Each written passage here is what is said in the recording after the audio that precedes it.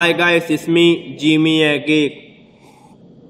AMD R9 290 versus GTX 960 both at $269 price point with 4 gig of RAM. Indeed, yes, the AMD R9 290 has dropped the price to $269 which is a 4 gig graphic card, 4 gig VRAM graphic card. The new GTX 960 is coming in January it gonna be a 4 gig graphic card but but but it is gonna give you the same performance compared to AMD R9 290 with the same price point 269 don't sue me.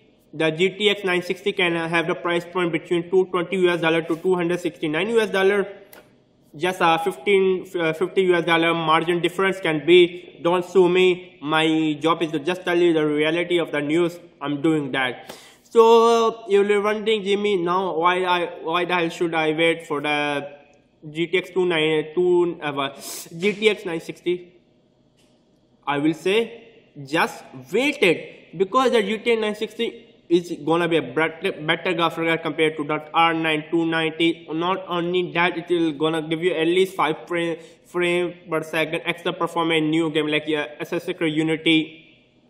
Basically, this new GTX 960 is gonna use a new Maxwell architecture, and everybody know even the AMD is coming back with their AMD R R9 390 or 390X.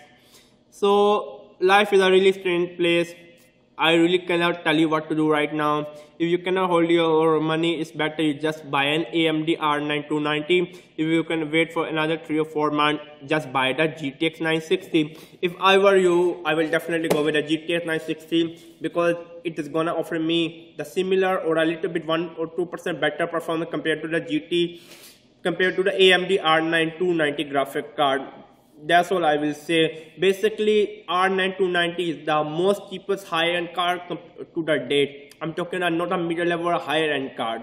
R9290 at $269 price point is the most cheapest card to the date. And then I will just say wait for GTX 296 and watch my old videos where I talk about GTX 960. Watch my GTX 960 rant.